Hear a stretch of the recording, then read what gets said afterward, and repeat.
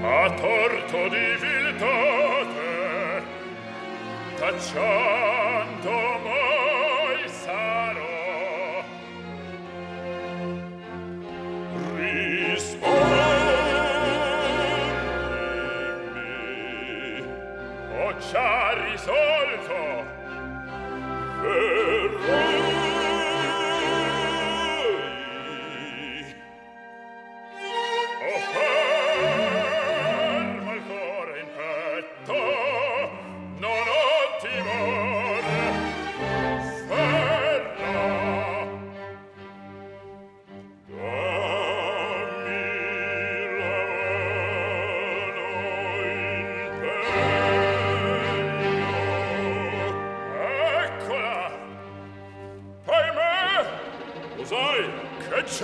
Chi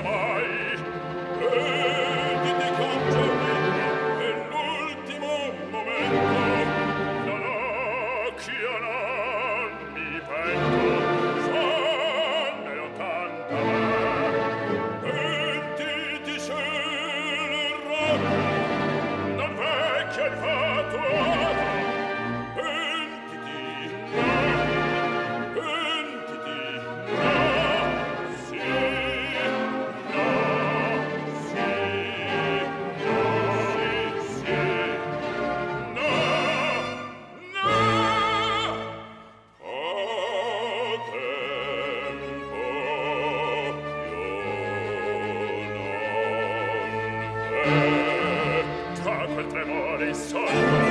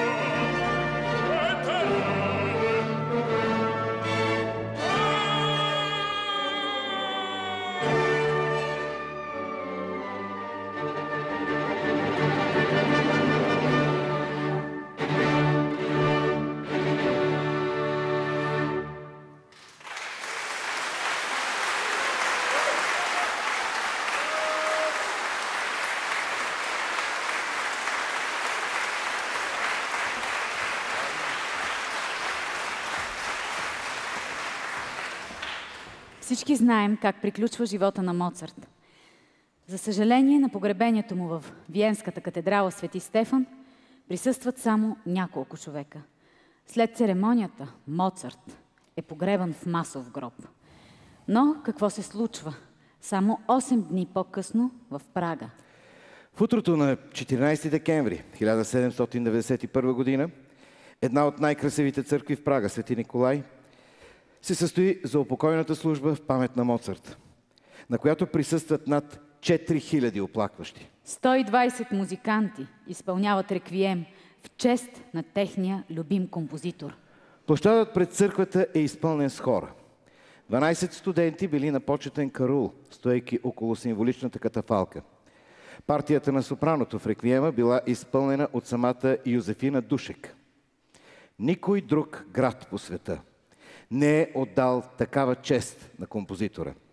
Никой друг град в света не е скърбял така за любимия си композитор, както Прага през 1791 година, декември. Последното произведение, което ни оставя Моцарт, е неговият реквием в ре минор, който остава незавършен.